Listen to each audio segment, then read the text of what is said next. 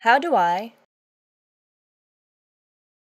replace the Teflon syringe seal on the FlexMap 3D?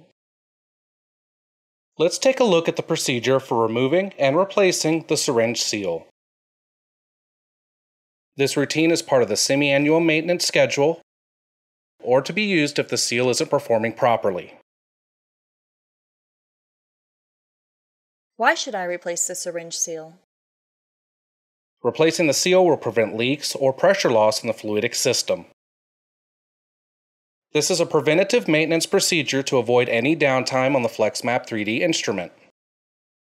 In normal use, the seal will degrade slowly.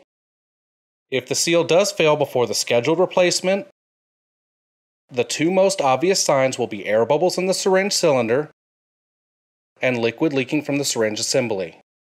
The FlexMap 3D cannot run properly if the seal is broken.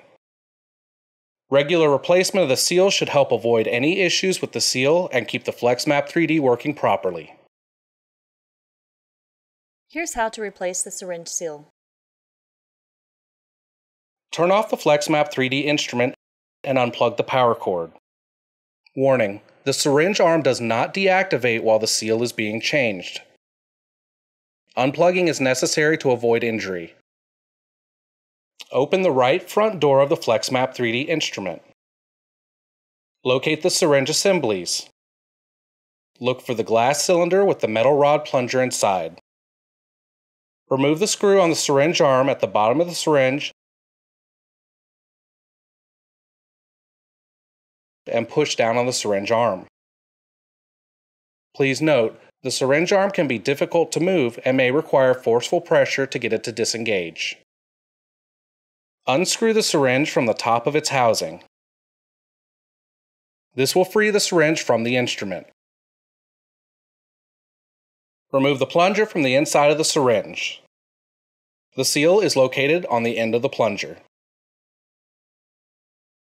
Remove the cap from the end of the plunger. Note, tools may be required to remove the seal if it cannot be done by hand.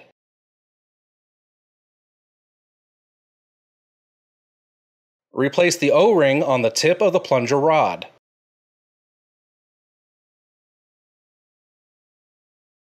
Then replace the syringe seal over the O-ring. Ensure the seal is fully seated and the top is level. Push the plunger back into the syringe. Screw the syringe into the top of its housing. Pull up on the syringe arm, allowing the bottom of the syringe to slide into the hole on the top of the arm. Replace the thumb screw on the syringe arm.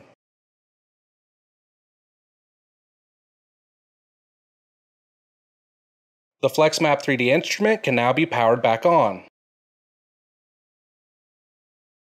Before using the instrument, the syringe seal needs to be checked for leaks.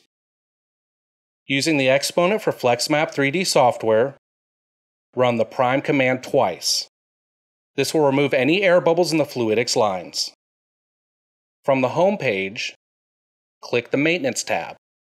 On the Maintenance tab, click Commands and Routines. From the commands list, click on Prime twice to add it to the command sequence. Note, the FlexMap 3D instrument draws sheath fluid from the sheath fluid container for this routine.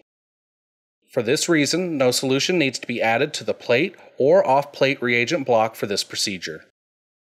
The routine can be saved as a custom routine by clicking the Save As button and typing in a routine name, or can be run without saving by clicking the Run button.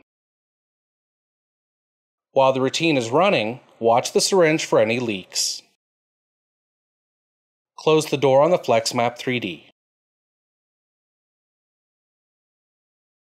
And finally, remember to change the syringe seal as part of your semi annual maintenance or when there is a leak.